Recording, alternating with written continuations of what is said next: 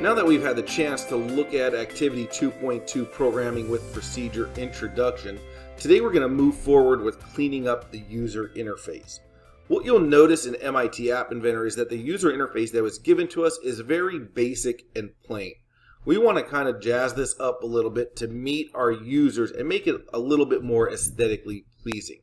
So we're going to go through just a couple things and just learn how to change the color and space some things out to make this more appealing.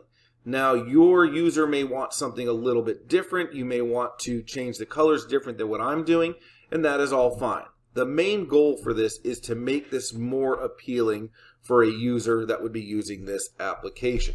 So let's take a look at MIT App Inventor. And we're going to start off by going to our screen. And in our screen, we're going to make sure that we turn off that title that says title visible. That's going to give us just a little bit more room to work with. Now you will notice that we're going to be working with some arrangements as well as buttons and labels as we move through this. We will be needing to adjust the properties of both the arrangements and the actual components within those arrangements. So let's start off by looking at our first vertical arrangement and what properties we have here. Here you'll notice that we have a align horizontal, which is centered, as well as my vertical. The only thing we really want to make sure we change with this is our actual height percentage. We're going to go ahead and shrink that down a little bit by making that 20%. And then I'm going to go ahead and change the background color to match my application, which is a dark gray. Once we go ahead and change that, let's take a look at the button, the word phrase button that is, that is inside of that arrangement your word phrase buttons properties, we're going to go ahead and make this a little bit wider and a little bit more easily to read or to click on for the user. So in order to do that, we're going to go ahead and make the font bold. Let's change that font size to 18.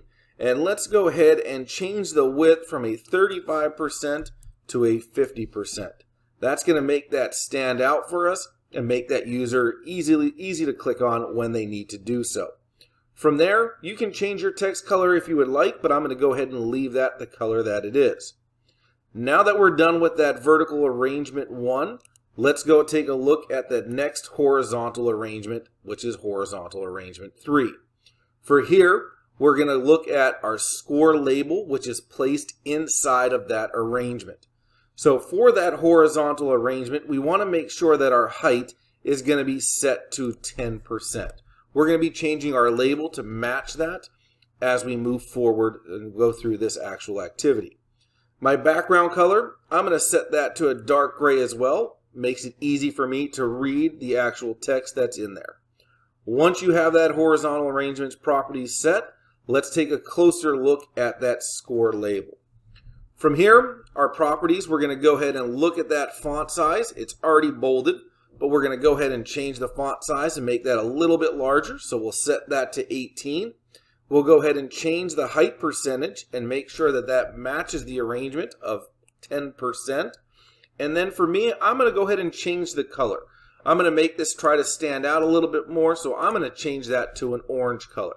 You can change that to whatever color you would like to, but for me that stands out really nice against that gray background. Now that we have that score label set, let's go ahead and take a look at my vertical arrangement 2, which contains the word phrase label. For my vertical arrangement 2, I'm going to go ahead and change that background color to match as a dark gray. My height, I'm going to leave it automatic. And my width, I'm going to leave that at a fill parent. Nothing else I really need to do with that arrangement. So now we can look at the actual label that is inside of that. We want to make sure that for our word phrase label, we have it bolded. We have our font size, which is set to 20.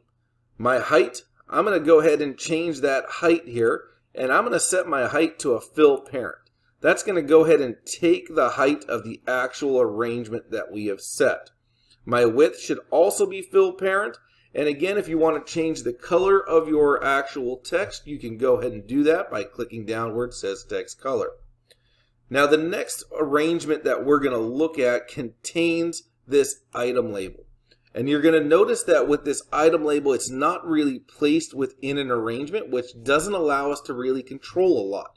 So I'm going to go ahead and bring in a new arrangement and I'm going to place it right above that item label. Now you'll notice that that item label is still there, it's just not in the arrangement.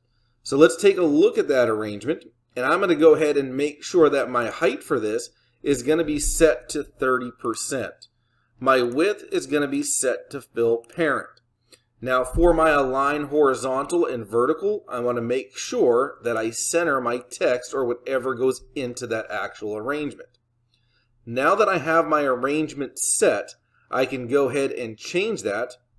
And I'm going to change that again to a dark gray. And then I'm going to go ahead and find that item label and I make sure it's highlighted. And I'm going to drag that to be inside of that actual horizontal arrangement that we just created. Now that I've done that, You'll notice that my item label is blank, but we still do need to look at some of those properties as we go forward here. My background color for this, I'm going to make sure I set to a dark gray so that it matches my arrangement.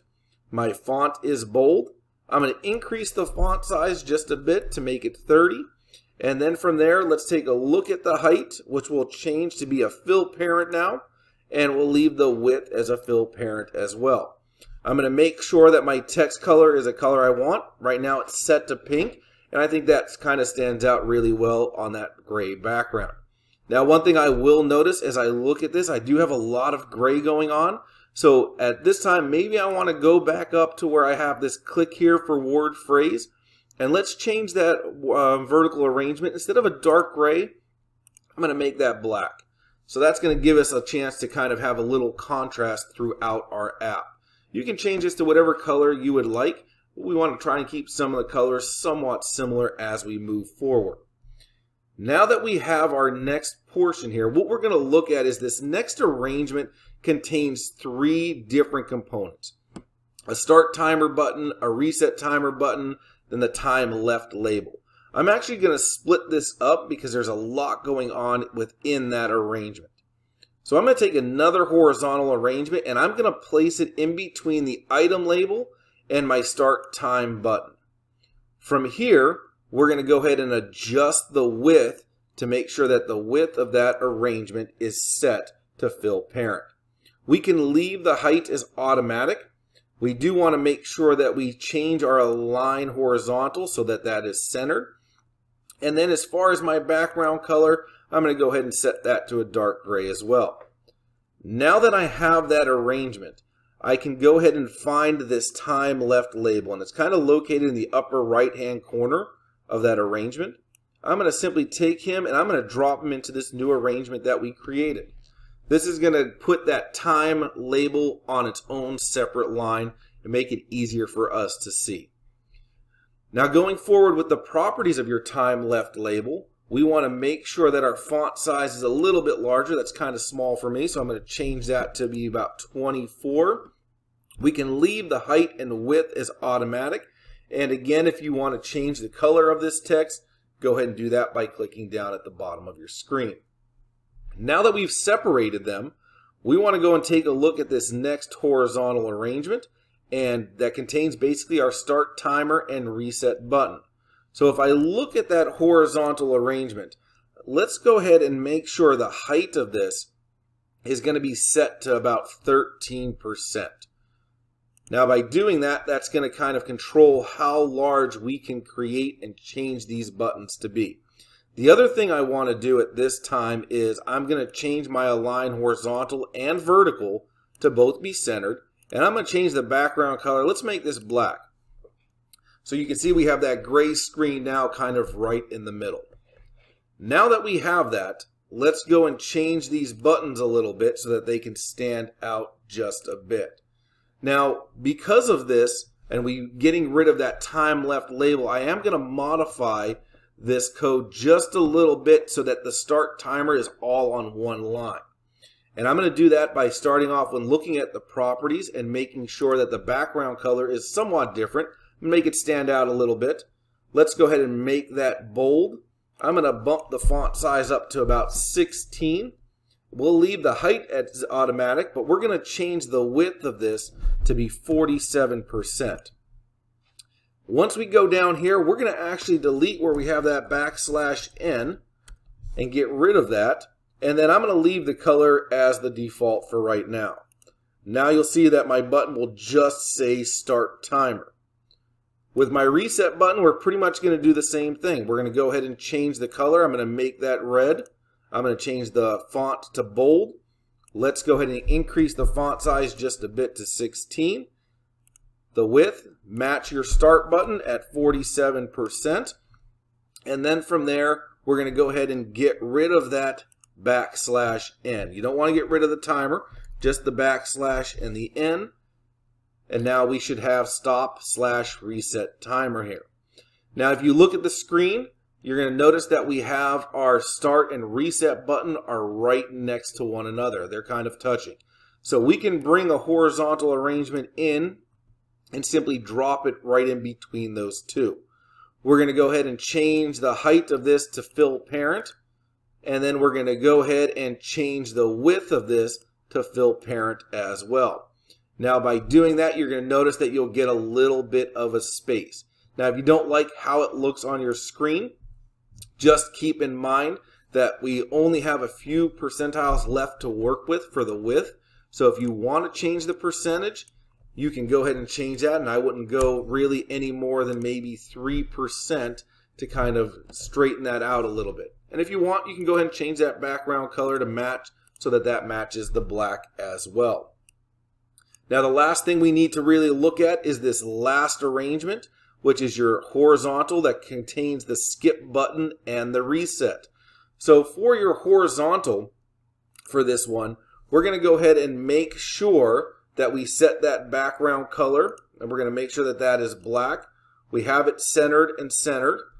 Let's change the height percentage just a little bit to 17. The width we can leave it fill parent and now my final arrangement is ready for us to look at those components. So for these, we're going to go ahead and take a look at that skip button and what we can do to change this and make it a little bit more appealing. Let's go ahead and make sure that we make that font bold. I'm going to leave the font size at 14, but I am going to change my height percentage to 10%. From there, I can leave the width set to automatic um, I'm going to leave everything else pretty much the way that it is. And again, if you want to change the color, feel free to do so. And then let's go to our reset button and match what we did for the skip button component. And that's going to be simply making sure that we have a bolded font, font size of 14. Let's go ahead and make sure our height is set to 10%. And from there, we are ready to go. Now, if we take a look at our screen again, we're going to notice that our buttons are touching one another. So we're going to want to go ahead and put some type of arrangement in there to kind of separate them out. So I'm going to drop another horizontal arrangement in between them. And for this last arrangement, let's make that height fill parent. And then the other thing we have to look at is the width. And I'm going to go ahead and make my final width for this about 10%. And let's just go ahead and change the background to make sure that it is black and matches the screen. Now what you'll want to make sure you do is you go ahead and take a look at your tablet and make sure everything is spaced out nice and neat. And if you need to make any final adjustments before going ahead onto the coding section, please make sure you do so at this time.